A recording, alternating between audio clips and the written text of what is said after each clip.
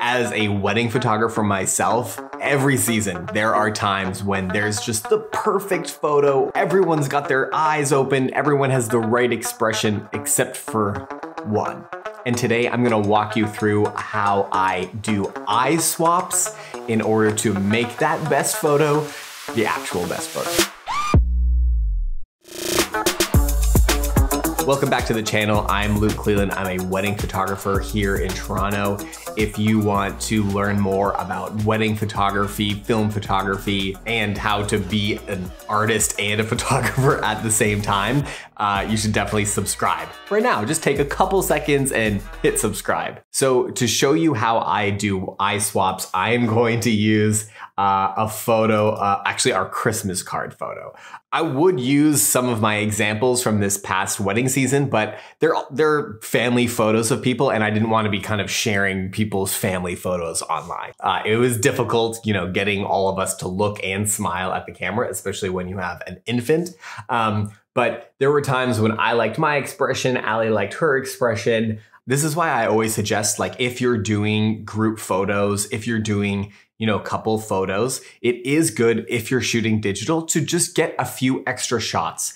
The more people that you have in the group, the more backup shots you should get. For this instance, I have another option here. And so what I'm gonna do is I'm gonna right click and I'm gonna edit in Adobe Photoshop. Okay, so we have Photoshop open and we have both files loaded inside. Um, so this is the photo that we wanna use. And so what I'm gonna do is go to this one with her eyes open. And what I'm gonna do is I'm gonna just use the lasso tool and just take kind of a large area that I want um, that encloses her eyes. And so I'm gonna copy Command C and I'm gonna bring it over in here. And I'm, you can either make a new layer, but if I hit paste, it's gonna automatically paste it on a new layer if I don't have, if I only have one locked layer in there. Okay, so the next thing I'm gonna do, okay, this looks a little crazy, but the next thing I'm gonna do is I'm gonna try to align them from the top face to the bottom face. And how I like to do that is over here where it says opacity, I like to bring that down. And now that I can see them at the same time, I try to align kind of the eye holes with each other. Okay, so as I can see here, this eye is a little lower than this eye. So what I'm gonna do is I'm gonna do Command T, or I can go to Edit and hit Transform. And I'm just gonna rotate this so I can get them kind of aligned. So I'm gonna move this up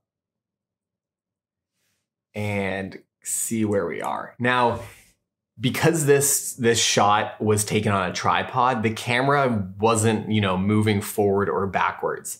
If, for example, you are, you know, just standing and you took, you know, a few a step forward or something, you might also in addition to be rotating it, you also might have to make it a little bigger or a little smaller. So I'm going to just bring our opacity back up. And then what I like to do is just toggle it on and off. And that's when I can kind of like see what would it look like if her eyes were actually open. I'm realizing, okay, I need to just rotate it a little bit more this way. I need to, I can use just my arrow keys and bring it down a little bit. Oh, it needs to go up. Okay, we're getting really close. Okay, so I feel like we're in the spot now where her eyes, it looks like she's just blinking at this point, right? She's just opening and closing her eyes. The next thing we're gonna do is turn on a layer mask right here um, on the layer that has this copied eyes, okay? Actually, sometimes it's easier to turn off the bottom layer. And what we're gonna do here is use the brush tool. I'm hitting letter B. And we're gonna go and click on the, make sure we have a black color so that it takes it masks that out. Whatever I'm painting black, it's gonna mask it out and you're gonna be able to see it reflected in this little square over here. So what I'm gonna do is just take, I'm gonna actually do harder brush here and I'm just gonna take out everything except just her eyes. And I'm gonna do that because from one photo to another, there is so many kind of differences in the in their face and their expression, what their hair looked like, all of these different things. So you want to kind of change as little as possible, so not to make their face look really weird. so, okay, I have it down to just her eyes. I'm gonna turn the background back on and okay, it's pretty good. Something that I always look for when I'm just doing eye swaps is the alignment of the nose, right? So this nose, I can tell, oh, it's a bit farther than where the underlying nose is. So what that means is I gotta bring the eyes a little closer together. And then what I can do is Command T again, and I'm just gonna bring down the size of the eyes so it aligns with her nose here and with her hairline. I'm gonna make it a little smaller.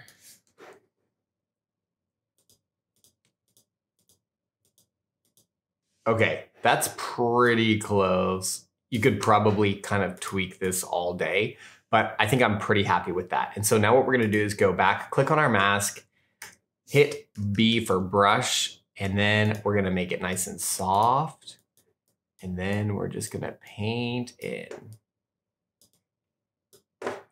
And see what this is doing is just really softening everything around so that pretty much I just have her eyes being replaced. So you can see something's funky going on over here. So I'm just gonna make sure her hair comes back in. Just paint all around here. That is looking pretty good.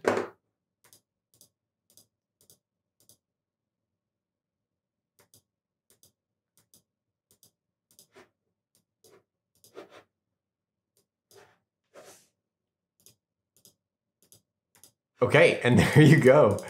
There is a eye swap for you from someone having their eyes half closed and wrecking the photo to boom, having those eyes nice and open. So that works all nice and dandy if your photos are the same looking. But as I was uh, editing this, I realized that I wanted to show you a scenario where the two photos aren't necessarily the same. So, for example, I pulled up these two photos again, where this one is dark, a little warmer, and this is brighter and a little cooler. So, if I go in here and do the same thing over again,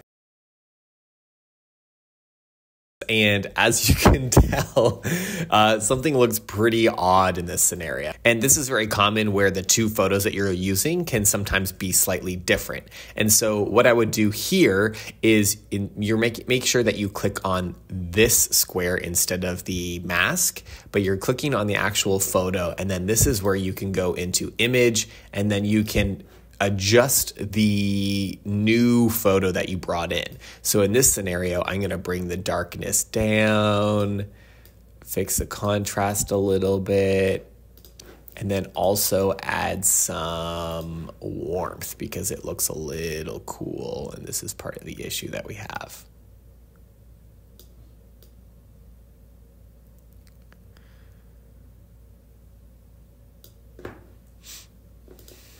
And now I fixed that and it looks really good. It still could, maybe the colors could be tweaked a little bit. There's a little bit of green to be added, but much better than the reverse sunburn look that we had. Some other things that I'll often add um, in that same way is um, sharpening the image. So maybe I've had to kind of blow blow it up. So I need to sharpen the image so it matches the underlying image. Um, and also some, adding some noise. Uh, sometimes maybe the new photo or the old photo is a little too smooth and it needs a little bit of grit to it in order to match it. Okay, and then before I finish this video, I'll just show you a little bit behind the scenes of how I actually made this card and I used the same principles with the eye swapping to swap heads. First, what I did was, okay, I just added a bunch of backdrops so it looks nice and clean. And then what we did was actually, I'll make this in reverse. I'll take out, this is the original photo and you can see like even our little girl, uh, she is pretty blurry. And so that's why we didn't want to use this photo. And let me just add one layer at a time. So we added some shadow here. We took out her head. We took out her head. And then what's this for? Well, empty layer. okay, and then we brought in a new body with a new full new baby right in there. And then lastly, we added Allie's head. So a little different than adding the eye swap, but it's the same principle where you're taking something from another image, you're putting a mask on it, and you're putting it kind of right on top of where you want it to be. So hope that was helpful. See you in the next video.